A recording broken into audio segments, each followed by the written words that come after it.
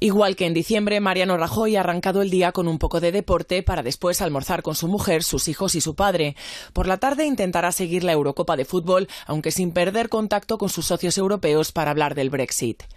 Pedro Sánchez ha optado por relajarse en la cocina preparando una comida casera con su familia y unos amigos. Y por la tarde, pendiente de su deporte favorito, el baloncesto. Seguirá el España-Brasil del Mundial Sub-17 femenino en televisión.